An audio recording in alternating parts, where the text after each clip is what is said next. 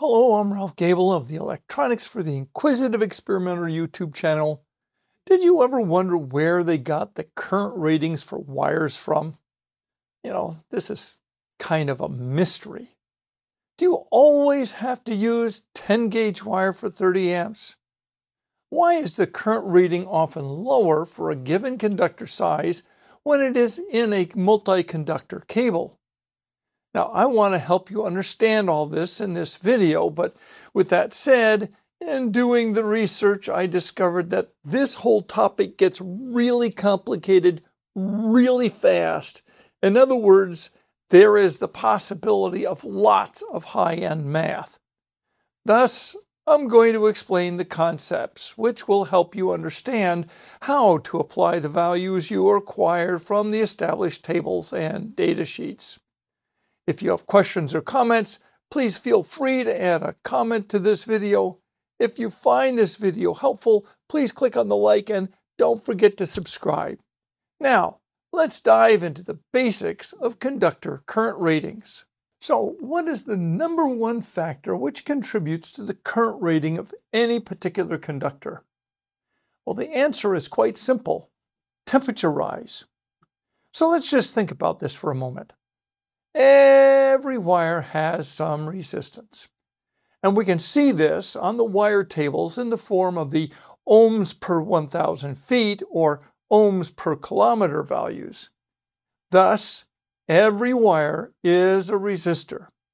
Now, granted, it's a low value resistor, but it's a resistor nonetheless. So what happens to a resistor as we run current through it? Ohm's law applies, which tells us that the power dissipated in heat equals the current through it squared times the resistance of it. So for a 10 ohm resistor with 1 amp running through it, we can anticipate that it will have to dissipate 1 squared times 10, or 10 watts of power in the form of heat. The actual temperature rise of this resistor will depend on its environment.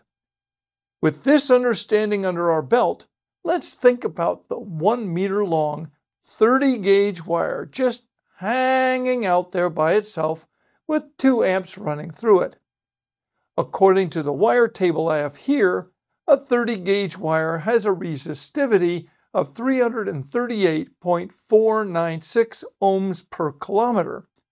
Our 1 meter wire will have 0.338 496 ohms of resistance.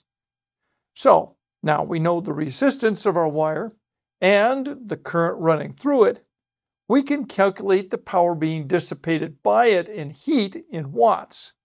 We have power is equal to 2 squared times 0.338496 or about 1.35 watts. And like the resistor, this wire is going to begin heating. How much it heats will depend on its environment. So let's talk about environment for a moment. Well, there are two ways that we get rid of heat from a wire or component. I'm going to begin with thinking about radiated heat. So what sorts of things might affect how hot an object will get with a given amount of heat being dissipated by it? Okay, now think about a house it stays a lot warmer with a given amount of heat if it is well insulated. So let's put our heat producing conductor into its house, so to speak. How much temperature rise there will be with a current carrying conductor will depend on the type and thickness of the electrical insulation on the conductor.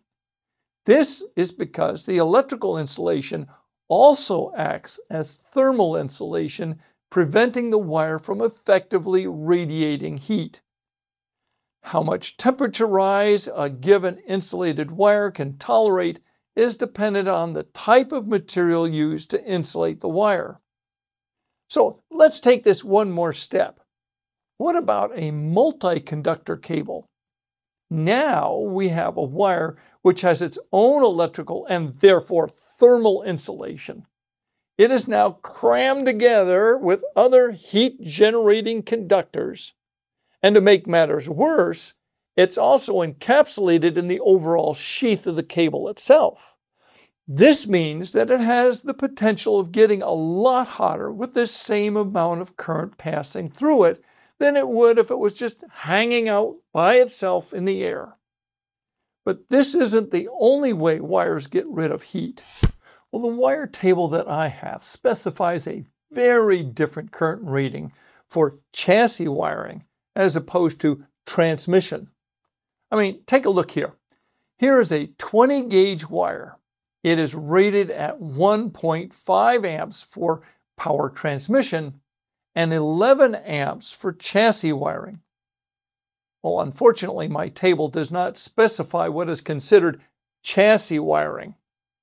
Well, why would it have a different current rating? Well, part of the answer is conducted heat and its cousin, length. Now, I've already explained that heat produced by a current running through a wire travels away from this wire by radiating it out into the air around it. Wire used in power transmission is often bundled together with other wires or maybe running through a conduit. Thus, it cannot radiate heat as effectively. But a current carrying conductor also conducts this heat through itself toward the ends where it is connected to the circuitry. If a wire is long, the amount of heat that can be conducted away effectively is minimal. Thus, the cooling of the wire depends primarily on radiating the heat into the environment around it. With shorter lengths, the heat conducted toward the ends of the wire becomes more and more of a factor, allowing higher currents to be used and still maintain the same temperature rise. But there are other considerations in choosing your wire. There are also other cooling factors like airflow, insulation thickness, is it contained within a multi-conductor cable or a bundle of wires or maybe in a conduit? And then there is the type of insulation. Because the current rating of the wire is a function of the temperature rise, it also means that the kind and thickness of the insulation affect it too. Thicker insulation reduces the cooling factor by radiation. The temperature tolerance of the material determines how much temperature rise it can handle and still be viable as an electrical insulator. Another consideration is power or voltage loss.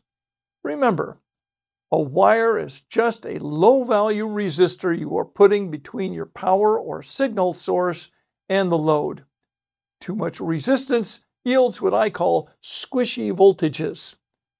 As the load increases, the voltage at the load end of the wire decreases due to the voltage drop of the wire itself. So the question is, how much variation in voltage at the load can you tolerate? Remember, voltage drop per foot or per meter is unaffected by the overall length of the wire. Lastly, every wire is not only a resistor, but it is also an inductor. The smaller the conductor, the more inductance per unit length. Inductance resists changes in current. Thus, for pulse applications, use larger conductors to reduce the inductance of the wires, providing better instantaneous current supply to the circuit. Well, in the end, trust the current rating as specified on the data sheet for a given wire or cable. While the generic wired tables are a helpful guide, the real authoritative guide is the data sheet for the specific wire or cable that you're using. But even there, remember these are maximums. And like so many things in electronics, it's always best to stay away from the maximums. I mean, why walk on the very edge of the cliff? If you don't want to fall, stay away from the edge. The same applies to the maximum ratings of anything. So there you go. If you found this video helpful, please click on the like and subscribe to the channel. Thank you so much for watching. Until next time, toodle-oots.